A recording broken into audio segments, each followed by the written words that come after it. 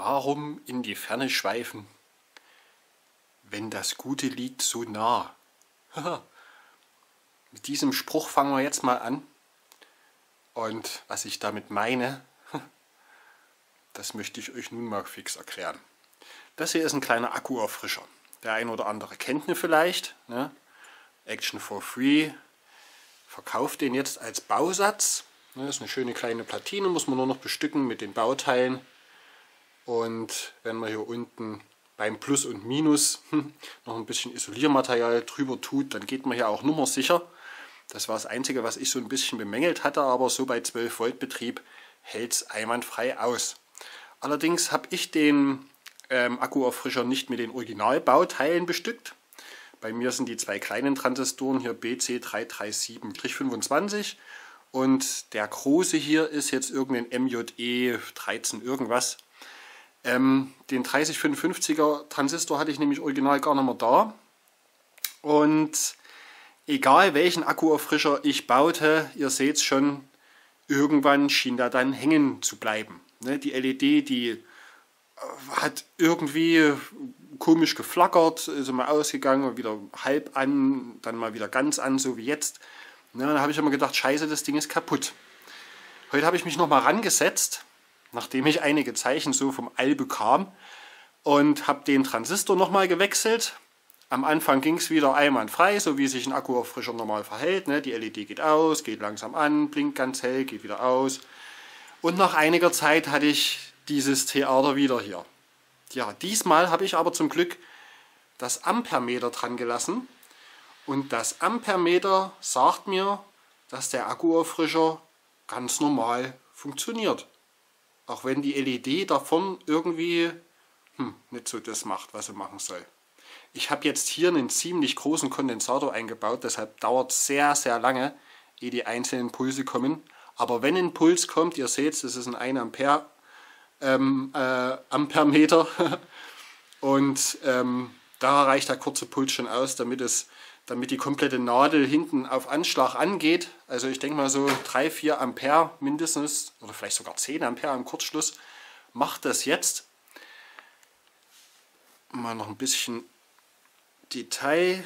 Hier habe ich noch einen Potentiometer eingebaut ähm, bei diesem Widerstand, der da zum Kondensator ist. Und wie gesagt, der Kondensator ist bei mir ein 10 Volt 2200 Mikrofarad. Ne? So, da kriegt man das dann hin mit diesen schönen starken Pulsen. Und jetzt möchte ich mal zu den Zeichen kommen, die da aus dem All kamen. Und zwar hat mich meine Vermieterin neulich gefragt, ob ich zwei Mikrowellen bräuchte. Da sagt die erstmal, ja toll, das kann ja jedem mal passieren. Nee, nee, also hier passiert sowas eigentlich gar nicht. Normalerweise muss ich mich an meiner Vermieterin immer vorbeischleichen, wenn ich irgendwelche Geräte zum Ausschlachten mit hochnehme, die ich dann zeitweise auf dem Boden zwischenlager.